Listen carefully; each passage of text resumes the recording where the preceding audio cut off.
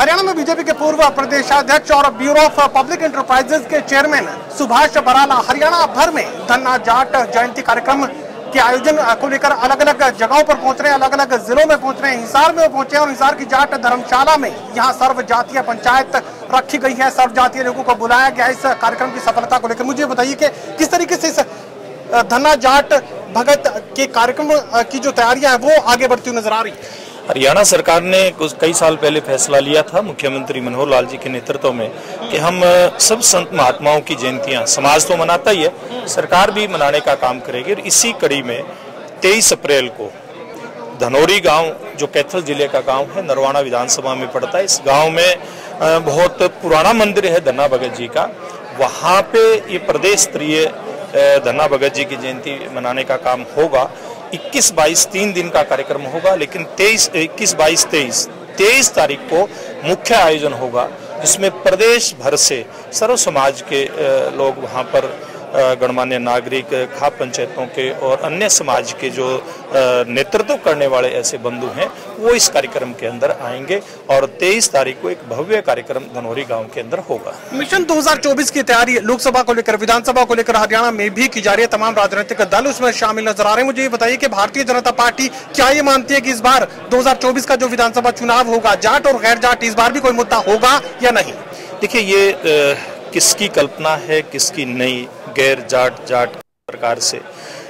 Bharatiya Janata party सर्वे भवंतु सुखीने की बात करती है। हम सारे समाज को साथ लेकर के चलने की बात करते हैं और भारतीय जनता पार्टी पंडित दीनदयाल उपाध्याय के अंत्योदय के आधार पर आगे बढ़ती है। एक आत्म मानव दर्शन, एक जो हमारा राजनीतिक दर्शन है, दुनिया का सर्वश्रेष्ठ राजनीतिक दर्शन है, हम उसको साथ लेकर के और सब समाज का कल्याण किस प्रकार से हो, इस भाव से चलने वाली पार्टी के कार्यकर्ता है। इसलिए किसके खिलाफ कौन लड़ेगा, कौन नहीं लड़ेगा, किस प्रकार का होगा वातावरण, वो नहीं होकर के सारे हरियाणा प्रदेश का, सारे देश का मतदाता मिल करके अपने गुण दोष के आधार पर वोटिंग करे क्योंकि भारतीय जनता पार्टी की सरकारों ने, प्रदेश में भी, देश में भी जो जन कल्याण का काम किया है विकास का काम किया उसके आधार पर हम लोग जनता के बीच में जाएँगे और कहीं कोई इस प्रकार का कोई जात बरादरी के नाम पर भारतीय जनता पार्टी राजनीति करने वाली नहीं है। हरियाणा के मुख्यमंत्री मनोहर लाल जन संवाद अभियान पर निकल चुके हैं गाँव गाँव पहुँच रहे हैं लोगों से सीधा संवाद वो कर रहे हैं। क्या ये मान लिया जाए कि लोकसभा और विधानसभा एक साथ करवाने की बीजेपी की तैयारियाँ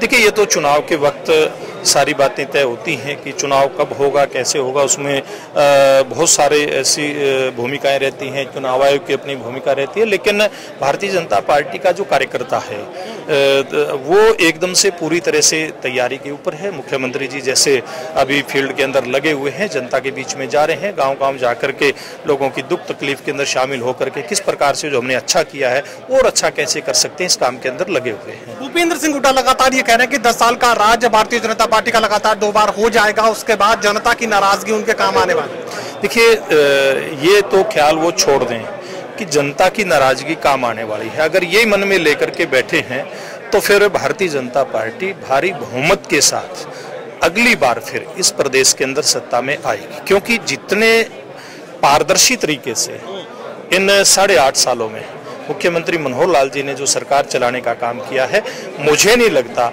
इस पारदर्शी तरीके से कभी हरियाणा प्रदेश में सरकार चली हो किसी की। आज मेरिट के आधार पर युवा को रोज़गार दिया जाता है।